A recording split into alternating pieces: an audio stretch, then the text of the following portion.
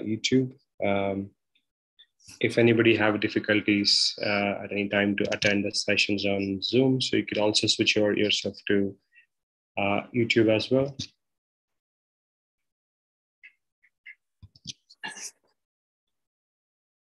Okay, so uh, just before we start the session, uh, and, and we just wait a couple of minutes for everybody else to join. Uh, it would be good to have some interactions uh, between each other on whoever have joined the session. Um, so uh, very excited to host people uh, from various different parts of the country and also from different parts of the world as well in this session. We got about, I think, 150 people registered for this uh, webinar, and we see about 40% uh, of the people registered are from the industry. Um, quite good to know, and happy to consider your interest uh, to explore about uh, the sizing simulation and the important importance of it today. it would be good, good to know your expectations before I start the session. So we have an option available in our chat box. It would be really good to hear your expectation. Um, so I just pinged you hi in the uh, chat box. So could you please uh, uh, give us some inputs on what interests you to attend this webinar? And also, um, you know, what are you expecting out of this, let's say about 45 minutes of our discussions today? And that would set us a bit of an agenda for today's discussion. So I myself have an agenda for delivering the session today, but though I would like to know your expectations so that I would try to tweak around my discussions to to meet your expectation at the better level. Um, yeah, so over to you. Uh, the, the floor is open for uh, your inputs. Uh, so please drop the details on your chat boxes.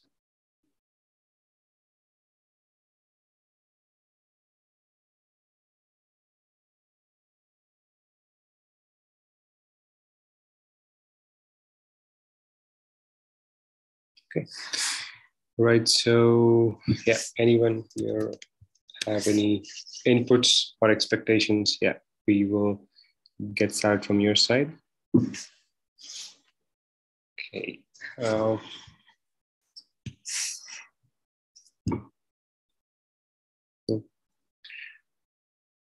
okay, I see a message on the chat box. So yeah, um, hello, hi, hi Shashank sir yeah, good to see that you know you're part of this webinar today. Uh, nice to know you.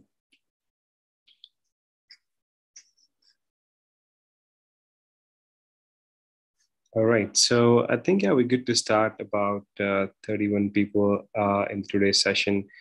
It would have been really great to know what interests you to attend this uh, webinar and what are you expecting from this uh, discussions today uh, that would have been a great input for us to uh, you know discuss about today's topic okay we have satish patil so want to know areas of improvement in ev powertrain uh, yeah absolutely i think uh, we can we can chat about it but yeah I, I think at this moment without knowing a specific project and uh, its requirement in place. Uh, it, it, may be very openly as an answer what I would be defining, but yeah, we could get get connected and you know explore more to suggest you better answers.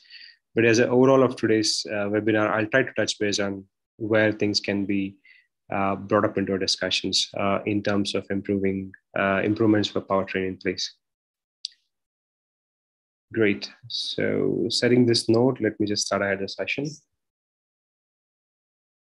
By the way, hi, uh, good evening, everyone. Uh, thanks a lot for joining to the session on electric vehicle powertrain design using 1D simulation softwares. Uh, this is Suraj. Uh, I'm the co-founder and CEO at Decibels Lab, and I'm also the course director for the programs. Uh, happens at Decibels Lab largely on any of the specific domains. Um, so uh, I'm glad to deliver the session today. Uh, typically, it's been very rarely that I engage in sessions, but it's always interests me to, uh, you know, engage in some kind of sessions like this to interact with all the participants across. And EV is definitely a passionate area, and uh, that's how our whole business was uh, laid upon to start, you know, and train on EVs in place. So very good to connect with all of you, and thanks a lot everybody for joining the today's session.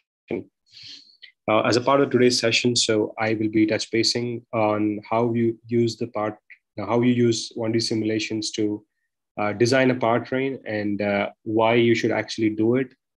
Uh, I know it's not just uh, connecting some Simscape blocks and you know getting the beautiful graphs, uh, but it's it's more than about you know um, understanding the requirements of the project and designing all of your systems around it, so that you you make the uh, in a system to function to a great extent maybe in terms of reliability maybe in terms of efficiency you know maybe in terms of uh, optimization. Uh, there are a lot of things you know that you could do as a simulation engineer uh, that only possible if you know what best you can use a simulation tool for uh, so i see a lot of people like you know teach on youtube um, you know uh, uh, on simscape but but but it's not just about you know you can build models you know. It's just equations and you know convert them into a model. What's so not difficult assembling some set of bolts and nuts to make a vehicle right? So that's how it looks like. But typically it is not uh, just a simple uh, simulation but you got you got to derive a lot of information out of it so that you know you can you can build a better vehicle uh, so to get you started uh, with that scope of it, uh, let me derive as best as the information I have uh, out of this session. Uh, to set an objective, I would give you an idea on um, how we could use simulations and how they impact in the overall sizing of components. then i will be joined with Mr. Krishna um, to give you a bit of idea about some of the models as well. Um, so cool. to start with my slide one, so um, why do we perform simulations?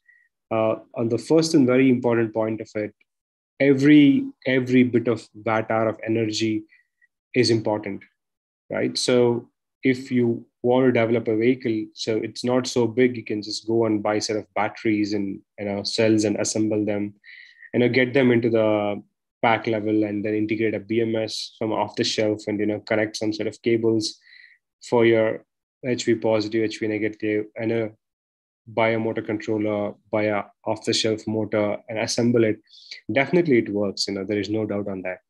But but at the very core of it, you know, if uh, you are able to optimize the whole vehicle uh, to to reduce the energy consumption, and and the beauty itself is completely different. So to give you a, a, a very simple analogy, that uh, if you compare Ather uh, with uh, any other competitor products in the market, right? Uh, compare them in, in terms of energy uh, you know, efficiency of what they use for per kilowatt per kilometer consumption. So Ather has about let's say 2.7 kilowatt battery pack, and you know they promise about 75 kilometer range. So if you put the numbers, I think you get somewhere about uh, 38 to 39 watt hour per kilometer, right? So but if you take like iQube from TVS, if you put the range uh, with respect to uh, you know what you can call it as battery pack size there's a lot of difference in in terms of uh, what energy consumed per kilometer is and what energy consumed per kilometer at Ather. I mean, this is just an example, but there can be a potential opportunity for Ather as well to improve the energy consumption per kilometer.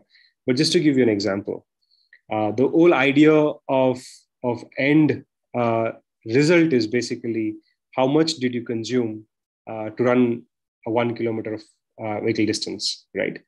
And then on top of all these things, and that's been the very core of our, our typical requirements that, you know, uh, what Maruti says is kitna, you know, how much mileage does it give, right? So same way here also it matters that, you know, what is the lowest consumed energy per kilometer of distance travel?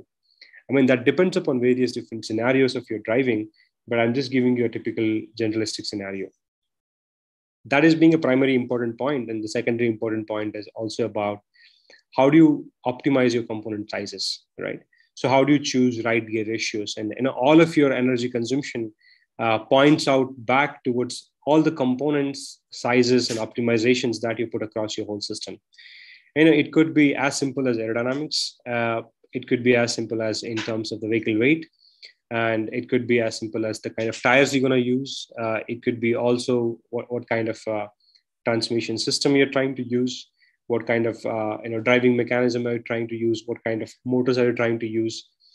Uh, what kind of motor controller are you trying to use? And what kind of optimization points you're trying to drive your motor under conditions? And did you know whether your motor goes above specific temperature regions that it, it loses its efficiency points. So this like in the place, there's a lot of data that comes in, and did you choose the right cell that is capable of taking uh, uh, a beating from the you know current consumption? Did you choose the right cell, uh, right motor that can pick up specific temperatures of the environmental conditions? So all of these things, you know, even including the parameter that if you deep discharge your cell, what is the you know um, energy that you're going to get out of the cell? So did you know this is going to happen when you put the vehicle in the real time condition so like this lot of parameter would just just drop in uh, to define that okay what is the lowest watt hour per uh, watt per, watt hour of energy you're going to consume per kilometer right? So it's it's end day that you know your energy consumption depends upon all of your components all of your system level integrations even to the level where you you put up your aerodynamics and all your vehicle dynamics also into a picture. So so that is that is why you know uh, uh, simulations are important. So if you uh, consider a specific powertrain model you know which is just looks like this which starts from the defining a chassis of of uh, simul- for the simulation and then defining transmission and then motor motor controller and a battery and then your auxiliary systems such as maybe the HVAC system or it's, it's for battery cooling or motor cooling, sorry, the battery cooling or battery heating or also for the motor cooling. And then you have your other auxiliary system, maybe your lighting systems or maybe any other power conversion system such as DC-DC converter or any other system that are involved as an overall vehicle part of it, right? So, so basically end goal of any of your simulation is to identify your component sizes. Uh, it could be battery, it could be motor, it could be transmission, uh, it could be your conductor, it could be your contactor, it could be uh, your battery management system, it could be your precharge components. Put up all these things together, you want to define your, you know, the sizing for your components, and then end of the day, you want to ensure that all of these components are optimized to the best of its, uh, you know, uh, requirements in place, and they do, they do work reliably at any given conditions. So keeping that as a goal, this is how the overall powertrain model looks like. And then what are we going to do with each of those models is something that we talk about. So when, we talk about um, the, the, major input parameters for powertrain model, so we have a lot of this component, a lot of this parameter that, that comes in as a simulation inputs. We could start from sim- as simple as coefficient of rolling resistance and mass of the vehicle, mass of driver, passenger, uh, grade angle, uh, frontal area of the vehicle. Uh, it could be density of the air, the drag coefficient of the air, radius of the wheel. So the moving ahead on the other areas, like if you could talk about transmissions, you have requirements for your maximum grade and your torque requirements. It could be peak torque and a peak speed and a wheel, and like other parameters as well that comes as a part of the transmission model. And then the motor model, uh, which talks about uh, torque, torque requirements and then uh, requirement of the motor in terms of the voltage or in terms of the current and various different parameters, also for the requirement of regenerative braking and stuff like that. So then we come to a part of uh, motor controller, talk about motor efficiency, uh, uh, regions of the way you can control a motor, and also obviously the parts of your regenerative control as well. So for the battery, we talk about cell voltage, uh, cell capacity, the battery capacity of battery voltage, and uh, requirements of drive cycle distance, and, and also talk about SOC and then uh, with regen controls as well. So when you talk about auxiliary systems, there are a lot of these parameters uh, I would say definitely there are more parameters than what you have mentioned here. So this is something that we could just put across as a presentation. Uh, so if we talk about HVAC system, obviously there uh, we we we are estimating the energy that is required for cooling of the cabinet, right? So the cooling of the cabinet is defined by various type of heats that has been added into the cabin or removed from the cabin. So the, typically we get to add heat by various different parameters. Maybe there's a reflective heat from the road because the road is hot and it reflects the heat when you're driving on the roads. It also accumulates to heat up the cabin as well. And you have uh, reflective load uh, directly getting bumped from the you know, sun to uh, areas of the uh, uh, windows and maybe in the glass panels and stuff like that.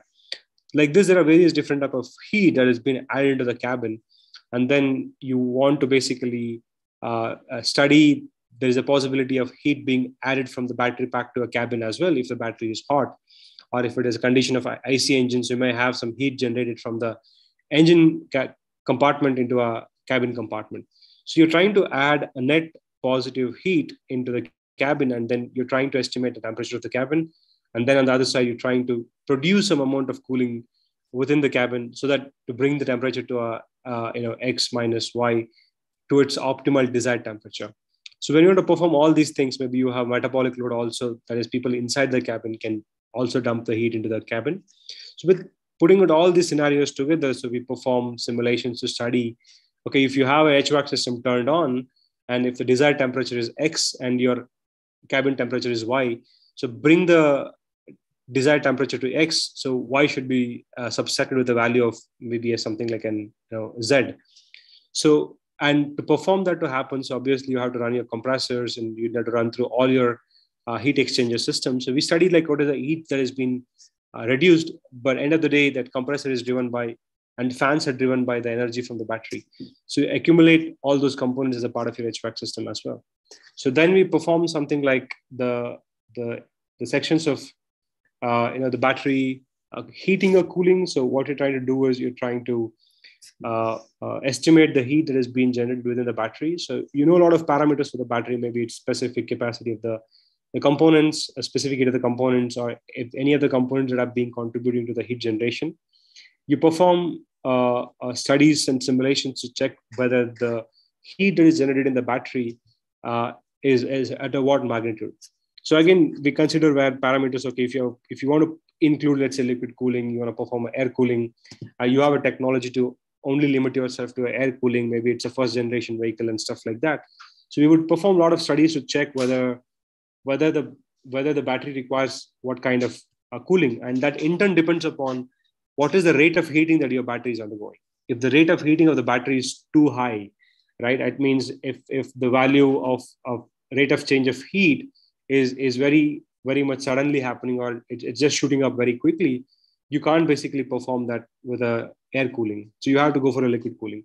So we perform all these studies. It could be even in the time of driving the vehicle or it could be in the terms of uh, even charging the vehicle as well. So we perform those studies to check what is the feasible heat that is at the battery and then then by performing cooling so what you could what kind of requirements are there and the load for the compressor because end of the day you have to supply the the coolant from the compressor itself right? So then uh, maybe for a motor cooling as well and then we have your auxiliary loads as well for the whole part of it. That was just a, just as part of it. And then what you consider possibly to perform uh, your 1d simulations and then there are various different test cases right so we start the model from here if I go back uh, to the chassis, so we consider certain parameters and then we consider transmission and then various different components which you have spoken about. So uh, if you talk about chassis, so obviously it, it is having the, the input as a drive cycle. The meaning of drive cycle is we want to know if you have to uh, calculate the energy consumed per kilometer or you want to estimate the range that the vehicle can give you or battery can possibly give you, right? So you have to study that with respect to the different drive cycles. So why? Because let's say you you take an electric bike and then charge it to 100%, uh, give it to uh, three different drivers, right? So one guy drives it very aggressively, another one guy drives it mildly, and then somebody else drives it like you know very calm and easy. So all of them have a different driving pattern.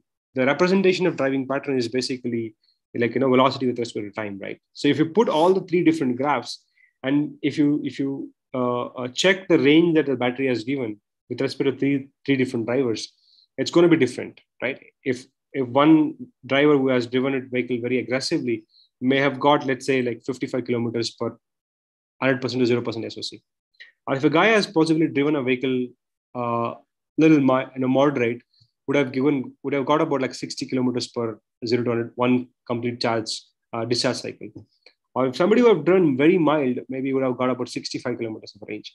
So it means that the, when you drive aggressively, you demand higher amount of a torque, and then that in turn demanding higher amount of a current from the battery.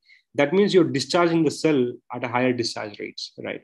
That means when you discharge the cell at a higher discharge rates, that is having a very specific discharge characteristics. That means when you discharge a cell at higher discharge rates, it would not give you the same amount of energy comparatively when you discharge it at lower C rates, right?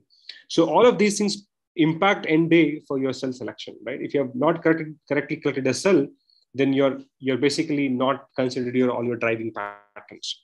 So to make that happen in a reality, so we would start that by performing various simulation with respect to a very desired, realistic uh, driving scenarios, right? What government asks you maybe to simulate with urban, rural, and highway conditions, right? So that is where you typically expect your vehicle to perform. Again, that is that may not be very realistic in condition. Maybe whatever the drive cycle we have for IDC and stuff like that. So all of them cautiously define, okay, according to ARAI, the vehicle gives you like 150 kilometers of a range. But when it comes to reality, it doesn't even give you 90 or 100 kilometers. Why? Because obviously it is it is what government says, and there is nothing wrong in companies defining it because that's what it gives you when you conduct the tests in those defined conditions. But but it is not the same for a customer at the end day, right? And it is not just the same for all of your component sizes. If you have not done your right sizing of your cell because you just went ahead with some typical rural and highway and urban conditions, not considering influence of various different parameters, your whole powertrain can go bonkers. That is when it comes to a scenario of real-time driving cycle. So we we have to collect extensive amount of drive cycles where we would have different samples of collection with different type of drivers, different type of road conditions, uh, different uh, you know kind of traffic conditions, so all of these things supposed to be collected. Maybe maybe let's say have have about like like 50 to 80 different driving scenarios that you could define that your vehicle will undergo, right? So somebody could put like an extra 50 kg on your load so that you could study all these parameters. So typical test cases that you run any of your simulation models is is run through different driving conditions. It could be any of these again with respect to specific real-time drive conditions and coming down to some of the points like you know you could also include your regenerative braking it could add a lot of greater value if you know how much it can add a value but it is not just a simple tech right so you have to make ensure that you know you, you, all your systems is compatible to perform regenerative braking you have your better control strategies uh, to be properly working for regenerative control because it is not only that you're pumping the energy back to the battery you're also making that as your like you know braking system so it could be potentially challenging if you do not have properly tuned regenerative braking system. Moment the driver presses a brake, so you would have your mechanical brake and also your electrical brake. So not just the point that the energy goes back from the motor to the battery, but also your all your vehicle dynamic parameters can be compared to a, a real-time condition, you know, expected values of what your customer is expecting, expecting, or you will create a very unpleasant driving experience for the driver. So putting all that driving requirements of a customer as expectation, and the other side, technology is also required to implement regenerative braking. If you're capable to implement regenerative braking, study various different scenarios and load conditions, and and implement all your control logic because as same as your motoring efficiency, regenerative efficiency is not the same. On the other side, your regen cannot be very effective at every different scenarios. And if you're driving at a very low speed and if you want to perform regen, it, there is no use of it. So all these scenarios of efficiency of regen at the motor and uh, you know uh, effectiveness of regenerative braking and your comparison of your mechanical braking system to an you know electrical braking system. If you have everything all in place, then only go for regenerative braking so that you can take out some amount of energy and you can be always quantifiable if you if you if you are able to take out the best as possible or if it is really very minuscule so why to put so much of complexities in place to go for a regenerative braking?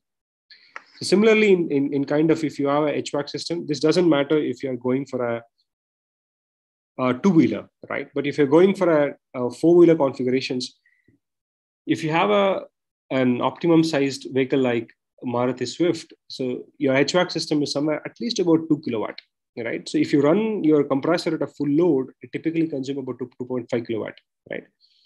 but if you if you have an average load condition that is about like a 1 1.5 kilowatt as an average load if you're running your hvac system at an, an optimal uh, desired like you know temperature about 25 degrees celsius your hvac system itself will consume about 1 kilowatt to 1.5 kilowatt per hour at a very average median load conditions but if you have your hvac system to uh, at a very highest load and you know the day temperature is somewhere about 44 degrees celsius and you want your ambient temperature to be somewhere about 25 and you're driving your vehicle at you know peak hot conditions so obviously you, you got to have your your energy consumption somewhere about 2 to 2.5 kilowatt per hour that means you're drawing energy from the battery. So that kind of a scenario you need to simulate and study. And just to jump into another condition, so you would have to check atmospheric condition influences on motor temperature, also on the battery temperature. And so that you have collected all this data to simulate uh, at various different temperature conditions what, what have impacts for your motor efficiency and a better battery discharge characteristics as well. Similarly, there are various different test cases, maybe limiting to a motor current. What do you do it? If your temperature of the battery, sorry, motor is very, very at a closer point to its to its maximum operating conditions. So you would definitely limit your battery, so you limit your motor or also the battery, so that both of them are in a operating uh, scenarios or within the limited limited conditions. So check all these conditions and then various different parameters, maybe different load conditions, and also simulating with respect to homologations and then simulating for energy consumption and optimizations and uh, selection of right gear, gear ratios and various different cases as well. So uh, any questions from anyone uh, until now? So over for the floor to have discussions. So anyone have any questions uh, uh, at this moment?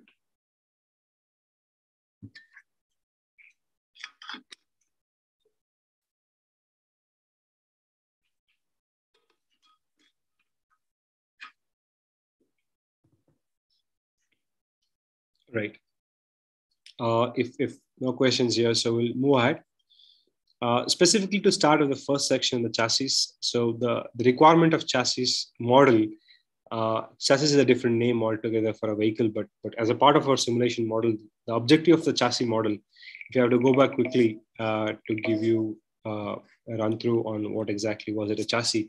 So if you start from here, right, this was a point where we are starting. So the objective of your simulation model is to determine the total tractive force that is desired for the vehicle's movement. So it could be your acceleration requirements, it could be gradability requirements, it could be uh, uh, you know peak and hold performance requirements, or any of these conditions. So you want to simulate with respect to uh, chassis, or you would be simulating with respect to chassis.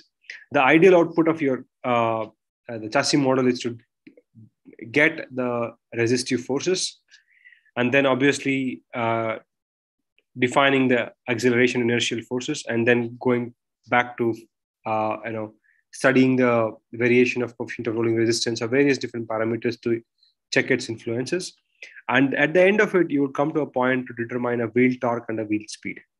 So if you have no transmission in between so you would go for that itself as your torque and a, a wheel speed but if you have a transmission in between, so that is where you convert that into a motor torque and a motor speed. So if it is a hub motor, then you directly go for a wheel wheel torque to a wheel speed, wheel torque, motor torque, and a wheel speed to a motor speed in place. So by end of it, you you run, you give a specific drive cycle input to your model, and then model will give you a desired amount of output in terms of various different parameters like this. Then to a transmission model. So the end goal of transmission model is to identify a desired gear ratio so that you can optimize the size of the motor. The other side, you can also optimize the maximum current requirements by limiting its uh, or lowering the higher torque requirements by optimally selecting a gear ratio. Also on the other side, you could you could choose the right gear ratio so that you would be able to optimally play the operating points of the motor as well. So yeah, uh, by end of it, you would you would you, could do a lot of algorithms. Uh, we have you know uh, something like linear search space algorithms and stuff like that. You can f- write this algorithm, uh, feed the drive cycle, and feed all your vehicle parameters. So optimally, the, the algorithm can automatically select the right gear ratios, and you can define your constraints and what you desi- what you desirably want to achieve. Accordingly, the algorithms can you know give you a right desired output. So looks like there are a few questions. Uh, which is a recommended recommended after studying a duty cycle with or without regeneration? Okay. Uh, which is recommended after studying duty cycle with or without regeneration? Right. So I mean, for the two-wheeler applications, if it is a very small motor size, about 250 watt, it might not be very effective. Again, it depends upon what what size of motor do you have and what what performance characteristics you have at the vehicle level. So desirable yeah if you have a very simple uh, 250 watt size or a you know 750 watt size requirements the effectiveness of regenerative braking may not be that really really great. Uh, that is on the one side and definitely you could look for a feasibility of regenerative braking if you are able to go ahead higher than those those sizes in place. And again whether you have a tech to kind of handle the regenerative system altogether that's another point of it. So which drive cycle uh, or, or will be impactful for you? Obviously you know you can generate your own real-time driving cycle if you are a vehicle manufacturer. Accordingly you can study uh, whether it is feasible or not feasible. Yeah it is feasible if you go above specific uh, wattage of the motor size uh, or i would say effective and then also on the uh, you know vehicle performance as well. Uh, you know what is your braking force and then uh, what is your often braking conditions are you know all these things will come into a picture. And what is the efficiency of motor at a system side and parameters of whether your SOC conditions of the battery and stuff like that will all bring together to define whether it is effective or not effective. But yeah, I would I know it is a diplomatic answer, but yeah, until and unless we would know your exact product requirements, uh, the it, it may not be a very specific or a laser focused answer, as I would say. But yeah, those are the parameters that could be considered in place to define it as effective or non-effective. First, you select a gear ratio or the motor. Uh, absolutely a fantastic question. So you know it depends upon um, whether you have a supplier who can who can supply you all right uh, a motor that you desire if you're a very large OEM, um, you have volumes in place. Obviously, people will talk that they can make a motor for you, or you have large amount of R and D budgets that you could pump the money for somebody to develop a motors for you, right? So if yeah, that so can happen, um, and you have a control over your supply chain and stuff like that, you would first choose, uh, you know, uh, I would say a motor by performing various uh, kind of scenarios. Uh, but if it is at a simulation level, uh, if you're asking whether you choose the gear ratio first or motor first, we would desirably start with um, you know running your simulation model and then getting some you know and, and vague results to start with and then slowly you you start to define certain boundary conditions uh, for your motor size depending upon uh, current values and voltage values. Uh, so that you know motor speed is is very you know directly proportional to the voltage that you're able to supply and then the motor torque defines with respect to the the current that you can supply. So you would have constraints on your battery size right you can't just pump out as big battery as possible. With, with certain considerations and constraints you you start defining requirements for the motor and then you also start defining your requirements of the uh, transmission as well. But at a very first point you would not have a very optimal results that you're expecting that okay this is what is a motor size is. You would start from vague motor size and then you start defining your parameters and slowly go back and check whether your target values for your battery current and the battery voltage are within the limits what is your motor expecting and then you start going with your transmission and then and start to optimize its uh, size in place. So uh, any questions from anybody else? Okay. So yeah, it's uh, it's good if you could interact. Uh, we could we could derive some answers out of this meeting. Um, right. So yeah, it's 604. Uh, run through because we hardly have uh, about another 15 minutes to uh, you know finish the session. So coming to the part of the motor model, so uh, the desired output we're expecting is what is the operating torque? What is the operating speed of the, the motor? And then what are its operating points with respect to the uh, efficiency graph? right so and then that is what we're trying to expect uh, and if it is working on a regenerative we are expecting what is the voltage and the current that you're able to generate out of the, the, the motor during the regenerative conditions. So, so that's what you're expecting when you're trying to you know uh, model the motor, and uh, we could we could implement again complexities of thermals as well, uh, so that you are getting the desired expected temperatures or what is the operating temperatures of the motor if if uh, you're able to run the motor for extensive durations and stuff like that. But yeah, at, at overall, you're expecting to know uh, the desired torque uh, and desired RPM so that your, your motor always be within its peak performance requirements. And you also know that the peak performance is limited for a time, and then your desired selection of your nominal performance of the nominal torque of the motor is within that desired requirement, desired manufacturing capability, the manufacturing capabilities of the motor.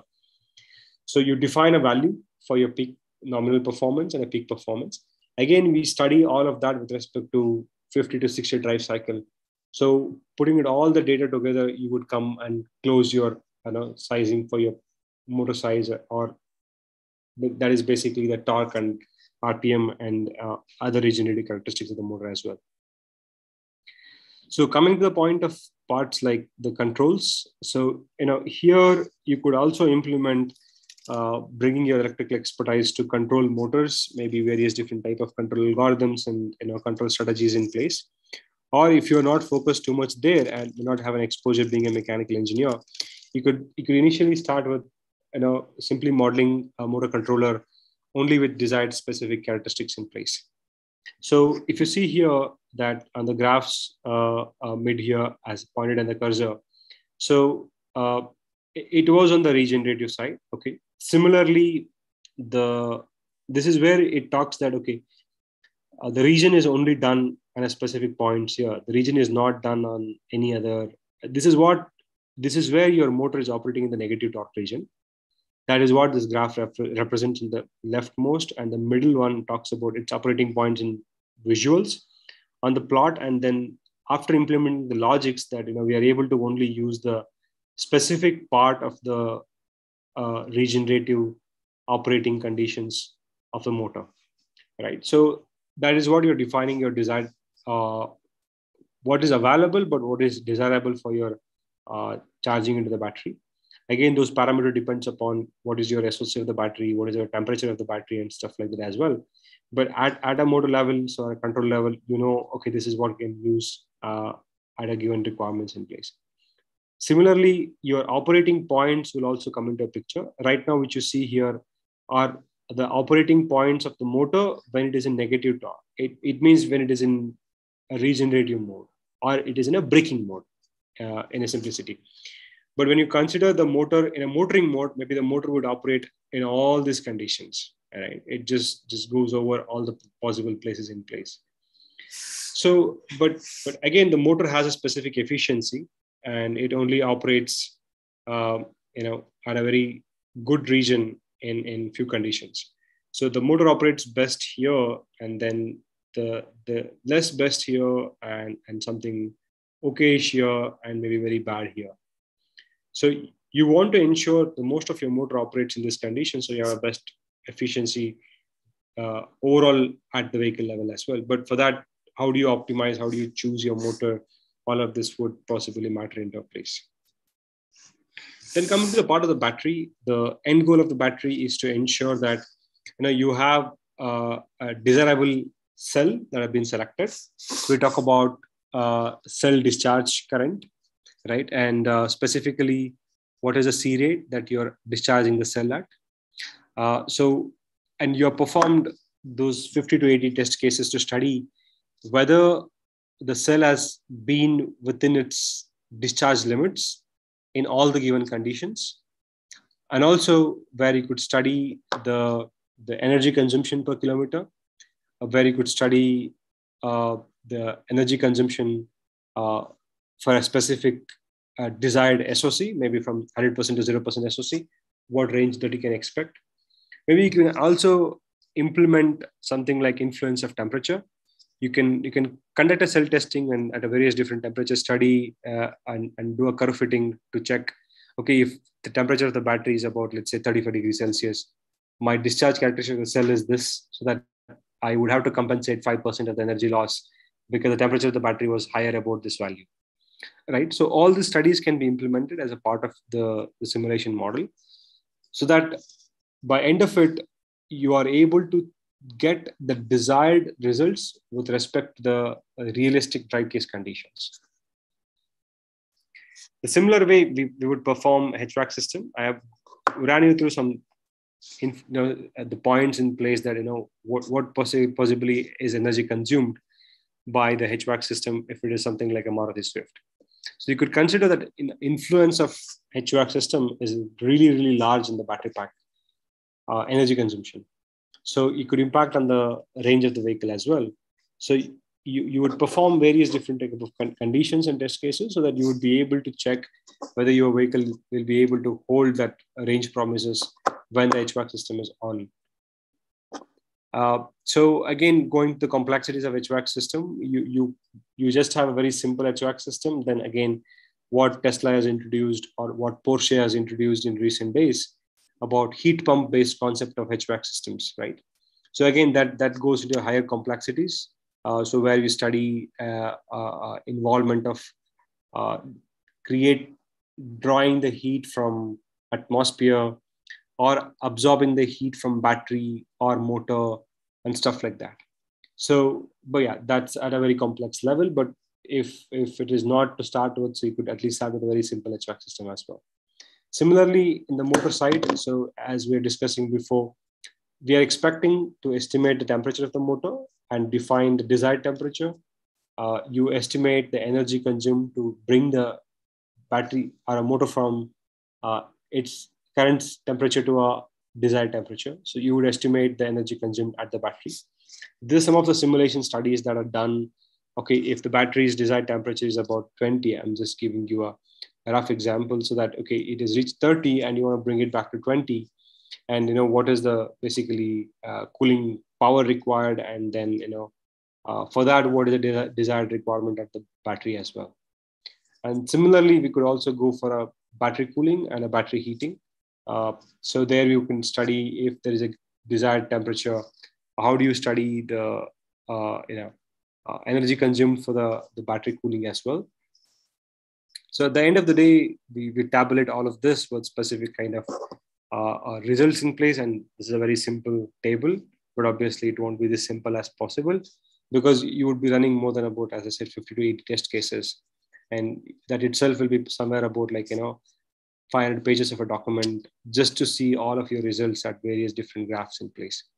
So with all of that, and you, you, you come to a conclusion that, okay, this is what your right component sizes are, and this is how you desiredly designed a possible system. And you never believe your uh, simulations at the first point, and you go back and perform your real time test conditions. You get results, you implement in the simulation model, you constantly go back to a real time testing, come back to a simulation, and then conclude most of your uh, and a simulation to a, a practicality uh, possibilities of, of results in place. So this is why you perform simulations. Um, it's it's just a long story in a, a short bit of uh, 45 minutes right? So but yeah i would say that this is not everything but but this is a glimpse of it that there's a lot of job to be done on on, on, on a powertrain side to choose what you want to uh, build. And then only on top of it you build things uh, that make make it to work or possibly that that they perform uh, in good conditions. So with this i you know complete my part of the session. If you have any questions uh, you can please ask. The rest of the discussions will be done by krishna. To give you a run through of a very simple models uh, without considering a lot of auxiliary loads and stuff like that. So uh, if you have any questions for until now uh, that you have we have discussed so over to you for the queries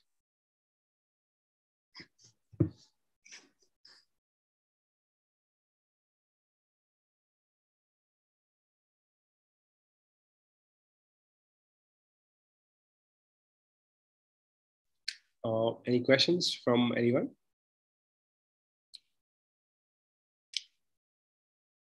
Okay, so in continuation with this discussion, so Krishna would run you through the simulation models. Uh,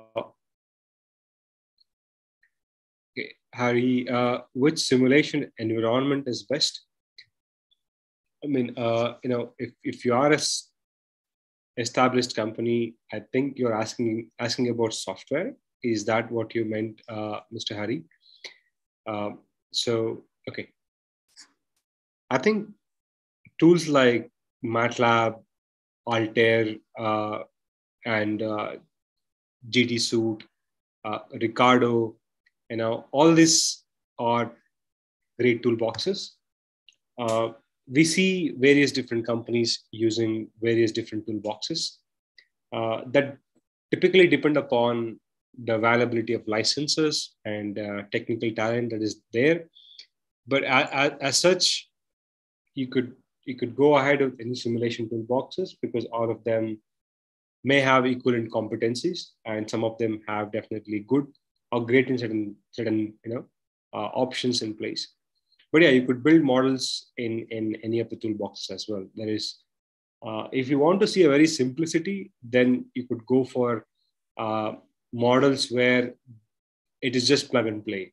You know, uh, but yeah, if you want to develop everything from the scratch, so you could go for a uh, models that you can build with equations.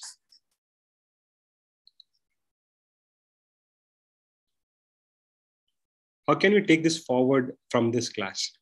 Okay, so it depends upon what you expect. If you want to build your career uh, in the areas of powertrain to become powertrain development engineer or a powertrain test engineer or various these things, uh, you could definitely learn by yourself too with available sources on the internet. Or else Decibels also have programs which can help you to build your profile and portfolio to kickstart your career as well. And, I don't know if that is what you're expecting. How do you take it out from this class? So yeah, you could learn uh, to build all these models uh, with our courses at Decibels Lab. How frequently an EV manufacturer does simulation in a year? See, if, if you want to bring any new product line into the market, so you have to perform simulations, right? So um, if you take like Maruti, right? So if you want to just bring any model into the market, which may be a one product, so that is definitely requiring a simulation. So if you want to bring, let's say there is a hatchback, sedan, MUV, SUV, all of this, right? So in a year, if they're releasing about uh, five products or six products, I think not right now as EV, but yeah, in the future it will be all of the OEMs are already working on this direction, right? So that is when you require. It is not like you know you finish one project and there is no no task for five years, but if you want to bring the whole product into a until to a, a release stage uh, to sign off for for you know uh, full scale production and then you know validation has been approved in place. So you would perform all your simulations. If you're done with one model, then there is a next product line coming into a picture. If that is done, there's a new product line. Maybe you worked on SUV, you're going to work on MUV, something of that sort. So it, it is not like one project, but it's just a continuous activity that happens with one product or another product. Is it absolutely necessary to simulate all the mentioned parameters? Are there some parameters that are good to have in some or must to have? All right, so absolutely, it's it's not necessary to have everything depending upon what accuracy of data that you're trying to expect in the reality it is an egg and chicken you know not that you will have all the data right? See if you want to calculate coefficient of rolling resistance i mean it's just not easy for you to just get a data particularly for the specific tire and road conditions right? So you would just go with some thumb rules to start with. If you have experience if you have a facility to collect the data and if you have a manuf- you know, manufacturer of uh, tire who can give you that kind of a data, it's great. But if you don't have it, so then you would start at some point with some assumptions in place. Then slowly you will evolve your model and then bring correlations with the practicality of testing once we see that okay what is your difference if the difference is about like 20% from your you know, realistic conditions to a simulation so you would go back to your bench and start looking around where do you go wrong so if you feel that any of those parameters are influencing then you make those parameter correct and then you bring your simulation model to a good extent all right so i think yeah i answered your question uh, Great. So I'll stop sharing my screen at this point. So Krishna, over to you to uh, share your screen. Uh, so any questions if you have still, you could drop your questions also on the chat box as well. Uh, over to you, Krishna, for the other discussions. Yeah, uh, thanks, Suraj. Um, hello, people. Uh, yeah. Okay. Uh, I will be talking about sorry yeah uh, i will be talking about like uh, modeling point of view okay like how we can go for like modeling and the approach how uh, what all approaches we can go for it. Okay? Yeah. So basically uh, like we can like go for like quasi-static approach. Uh, it is nothing but a backward facing modeling. And then there is a dynamic approach or like forward facing modeling of your vehicle. So I'll just quickly overview like what exactly these are, and I will take you to the like simulation environment to show you like how we can simulate the things. So basically like uh, in the backward facing modeling, so we'll be estimating on the wheel side, okay? Uh, like what are what all the parameters influencing your vehicle movement, okay? So considering all those things, like we are going to estimate uh, the power or like the torque requirement, like speed requirement to overcome all the uh, the parameters which are influencing your movement of your vehicle. Okay, the forward motion of your vehicle. Let's say like these, uh, those are like uh, resistive forces. So we are like we are going to model all the resistive forces, and we are going to estimate. Okay, uh, like what exactly the parameters uh, with a variable speed uh, like we'll be using the drive cycles okay and later like with the help of uh, like the vehicle parameters. Like we are going to um, size the motor. Uh, like in the motor part like we know that torque is the one parameter. We need to know motor speed motor power and uh, like again in the motor torque we are going to define with nominal torque uh, continuous torque peak torque okay? Or like nominal and continuous or like yeah. And even with the speed okay and same with the power. So after that uh, like we are going to uh, go for sizing of the batteries. Okay? From the batteries we are going to get like what is the current requirements? Okay? We know like this this is directly proportional to your torque the current uh, and the speed is going to deal with the uh, like voltage of your battery. Yeah. So we are going to define all those things like uh, by knowing uh, like si sizing of the cell that we are going to define. Okay. Uh, by knowing the current requirements uh, and the energy and for what range we are going to define and how much energy has consumed uh, for total range which we have defined and also like energy consumed per kilometer okay that we are going to define uh, the thing is that it is from wheel to uh, well approach. Okay by knowing what exactly required at the uh, wheel side. So uh, like about the forward facing okay? So here we'll be defining uh, like the available power and the torque. So with the help of like driver model uh, like we will be defining ideal driver model. Like we won't be involving uh, like many characteristics of the driver okay uh, like the mood of the driver uh, or like how he may be like uh, driving aggressively like oh, like based on his mood right so we want to be involving all those things ideal characteristics can be involved here in terms of because we need to define those driver behavior in terms of e equation mathematically. So yeah. So again, like you will be using or drive cycle has a feed feeding to your model. So uh, with available like motor torque and the power, so which you are defining uh, like power and the torque. So we are making use of those things like uh, whether we can reach uh, the actual speed which is produced by that uh, like from the vehicle body. Okay. So whether the given power and the torque is it sufficient or not? Uh, like that we can study. So basically uh, like the dynamic approach uh, we say that uh, it's a more accurate compared to the quasi-static so we can exactly know uh, the exact value what power or the torque required. Okay. And you can also tune we can also do the performance analysis.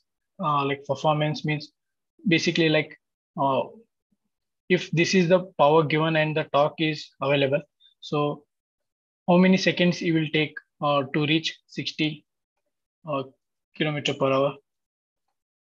Okay, or like 90 kilometer per hour. Uh, if you want to reach 90 kilometer per hour within five seconds, so how much power or the torque or torque is required? That we can study.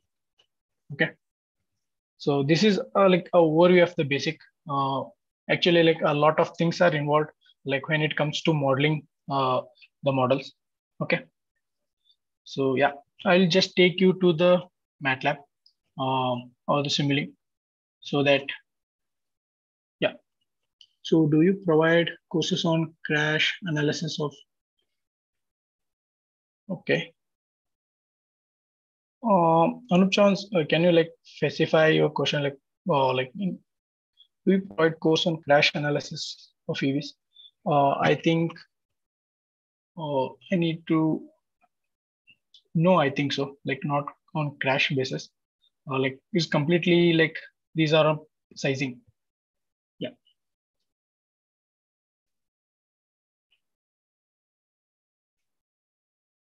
Okay. How do we take this as a business? Yeah. Uh, like definitely like we'll have a contact with you uh, yeah, there we can discuss it, discuss the things. So yeah, I'll just uh, know the admin for it. Yeah. So any questions on the like overview of it, like before going to the MATLAB, just let me know.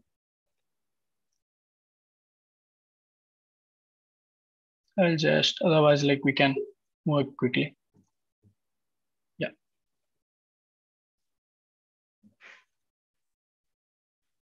So uh, like I'll just work through you about the script. Okay. So like we have some set of parameters uh, like which we are defining uh, so that we are going to use these parameters uh, in our model. Okay. Yeah. Uh, like in the models, let me open the models here.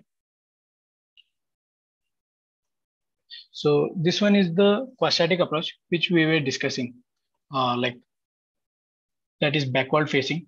So getting know about on the vehicle side uh, means uh, on the wheel side, we will be designing our motor and the battery, like sizing the com uh, components. Okay.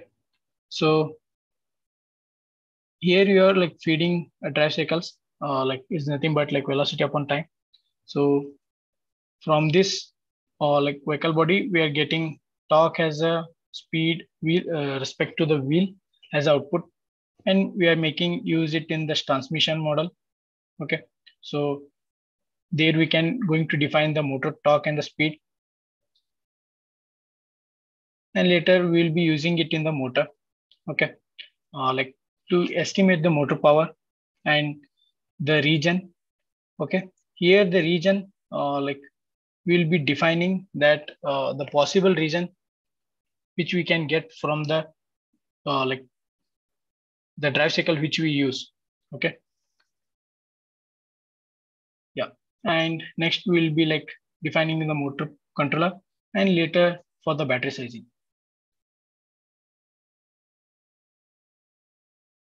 Yeah. So I'll just take you like in overview of it. So we'll be estimating like dynamic force, rolling force, gradient force, acceleration force, and we'll be like calculating the total force and and the total torque and the speed required. And then for we'll be moving into this transmission. Okay. And the motor model. So here we'll be defining like motor regen and the motor controller part. And this will be like battery sizing. So we can also like study here like with and without regen, uh, how it's going to affect the range of your vehicle. And with with uh, with that, we can also estimate SOC. Okay, and the number of cells uh, required, uh, like total number of cells, and the energy consumed per kilometer. Okay, and the battery sizing we can make. Okay. Yeah. So just let me know if you have any questions on this particular model, or we can move to the next approach. Yeah. I'm just giving the overview of it. Okay.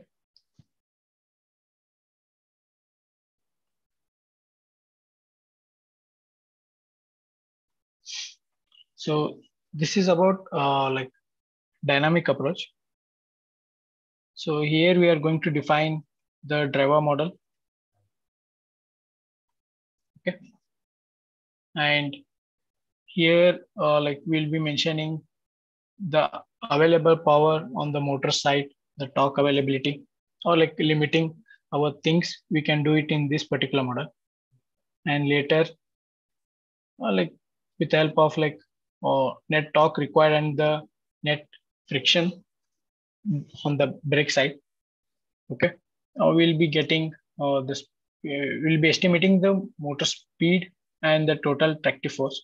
So from the tractive force, we'll be deriving the speed, uh, like using the Newton's equation. Okay, and I'm comparing the actuality. Uh, sorry, the actual velocity which is produced, right? So we'll be comparing with the reference velocity. Okay, so we are we are going to like uh, see like how it's going to be.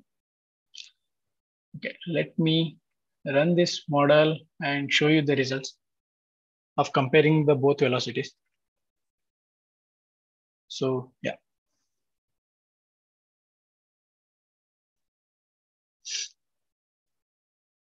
So this is uh, like the velocity profile. So if I just say, so this is your uh, like from the data set uh, that is okay it has given named as a gain right? So it is from this particular uh, output of the gain. It is nothing but like reference velocity for now you can consider.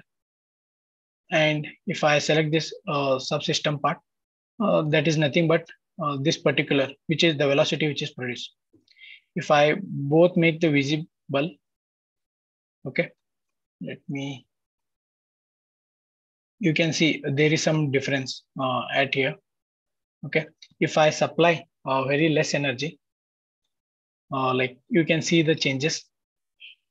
Let me show that thing. So this is a power uh, in watts. Uh, for now, I'll just make it, let make it 10 kilowatt.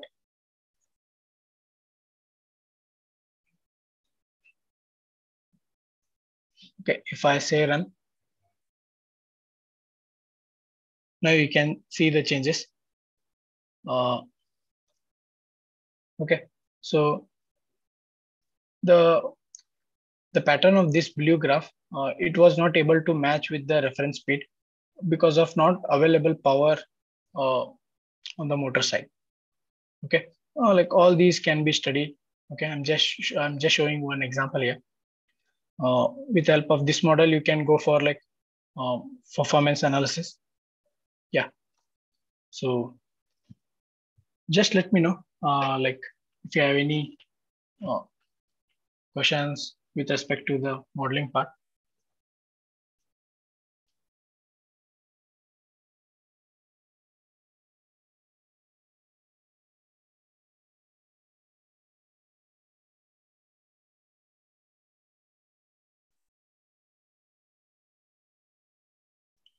Uh, we can we can also like put the chat in the chat box or like message in the chat box if you have any queries.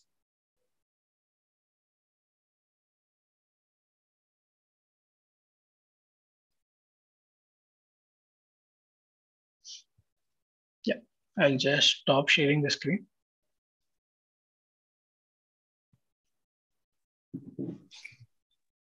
Right. Um, does anybody have any questions uh, regarding the discussion that we've done till now? So over to you uh, for, for any queries. So we would be glad to answer to them the best of our knowledge. Uh, any questions uh, from anyone?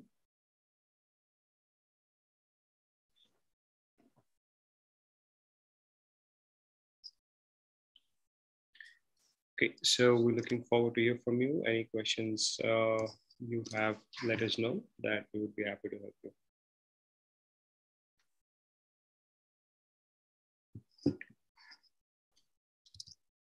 So, okay, so we see some questions here. Can we have any fundamental level modeling course? Um, yeah, sure, Satish. I think I can give you a run through of the course that we could help you out with and uh, let me just share my screen and you know give you a run through of the uh, courses as well. Um, just a second here. Okay, so uh, if you visit our website, uh, lms.decibels uh, if anybody is interested to pursue their passion specifically in powertrain and they want to develop and become themselves as a powertrain engineers. We have one of the master course that is for nine months, which is with 100% placement guarantee as well. Uh, if it, if you're very much dedicated and have a desired plan of you know uh, you want to become a powertrain engineer, so this is a course which talks completely in depth about development, uh, design and development of powertrain, simulation studies, real time testing and validations and stuff like that. So then if somebody is only focused towards batteries and algorithms, so we have a course on that. I think one of the very unique course in the country itself as on the algorithm development itself.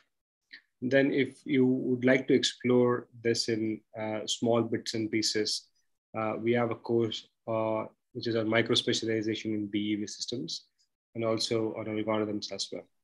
So yeah, those are the courses that we have. And apart from it, we also have some short courses that we call it as a certification courses. So these courses are available here. Uh, yeah, somewhere here.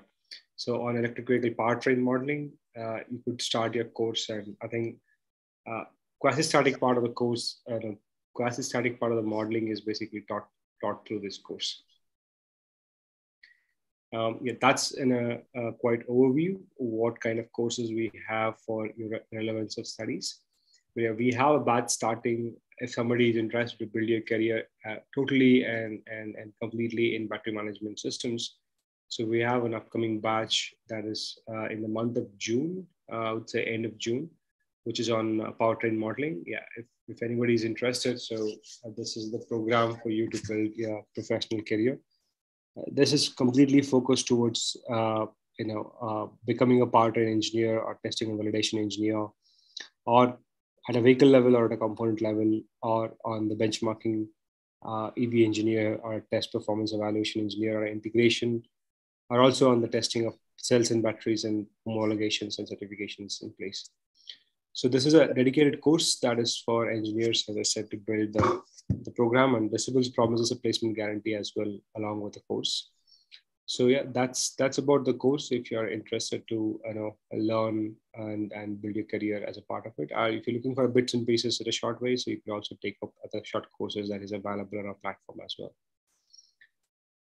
Great. So um, any questions from anyone? And uh, if, if there's no questions uh, as of now, so we have an option here to generate your certificates.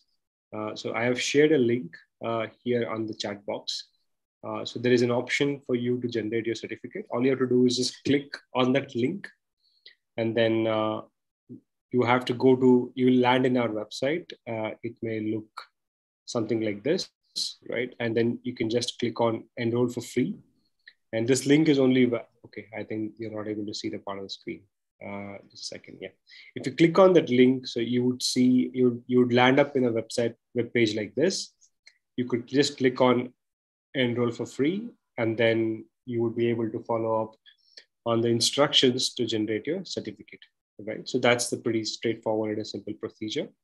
And the website will be active only for about a few hours. So if you're expecting to make that happen, so uh, jump in quickly and uh, generate your certificates for participation in the webinar. So cool. Any questions uh, for anyone? If no questions uh, before you leave uh, from the session, so do share us your feedback. How was the session and uh, was it useful? Was it informative? Or if you're expecting anything of similar in the future, you can let us know that we will be able to create or curate the programs for your interest as well. So we would be very glad to hear from you.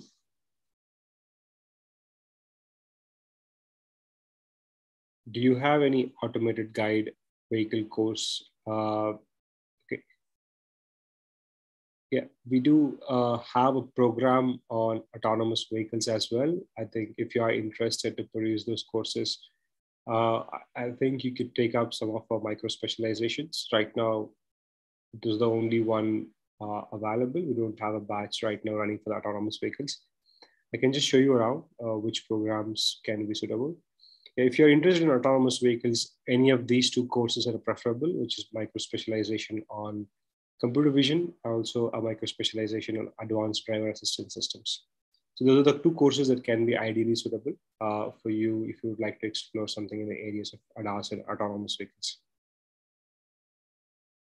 Right, so again, for everyone, uh, the way to generate your certificates is go to this link that has been shared at the chat box click on that button, which is called enroll for free, and then you will be able to follow the instructions to generate your certificate. Do ensure that your names are correctly entered in your profile when you created your account. If the names are incorrect, then the certificate will also come with an incorrect name. So ensure that you will be having a correct name before you generate the certificate. Okay. So I think, yeah, that's all from our side. Uh, by the way, thanks a lot, everybody, for participating in this session today. It was fantastic interacting with you. Uh, and if you have any learning interest for the future, so you always feel free to contact us. Uh, we have dropped our numbers and looking forward to help you in learning and building your career. Again, thanks a lot for everyone for making your time uh, today for the uh, session. So Great. So again, yeah, thanks a lot, everyone. Uh, good night uh, and enjoy your week. Thank you. And thanks a lot, Krishna, for uh, having uh, sharing an interactive session. Cool. So I think that's it professionally for the part of the session. So if anybody have any questions, you can stay back and drop them in the chat box. We will be staying back another two, three minutes uh, to conclude the session.